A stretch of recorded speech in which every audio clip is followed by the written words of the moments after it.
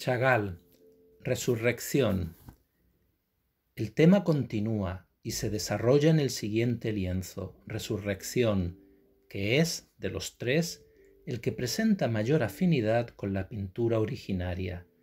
Representa la masa popular alrededor de la figura tranquilizadora del rabino que tiene la Torá entre los brazos. En un clima que una evolución positiva de los acontecimientos hace menos trágico y amenazador, los pueblos buscan la solución a sus tristes vicisitudes hallando en la fe y en la organización la fuerza para superar las contingencias. Es todavía Cristo crucificado, emblema de las víctimas de la guerra, la figura central, con el rabino a su lado, complemento de una construcción iconográfica que indica continuidad histórica y dota de significado a la escena.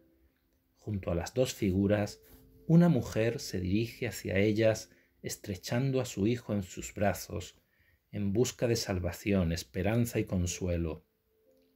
El cielo sigue estando rojo de sangre, pero una luz, la misma que antes llegaba volando con una vaca, se alza de la multitud e indica el camino, la resurrección, el nacimiento.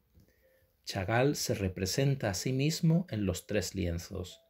En resistencia aparece en el suelo, con una mueca de dolor y la paleta en la mano. En resurrección es un espíritu, azul y paralelo a la cruz, pero cabeza abajo, con la mirada fija mientras pinta la figura del Cristo sufriente. Por fin, en liberación se muestra dos veces, pintando en el lienzo el acontecimiento mientras observa a su mujer que está detrás, y en el día de su boda bajo el baldaquino, abrazado a ella.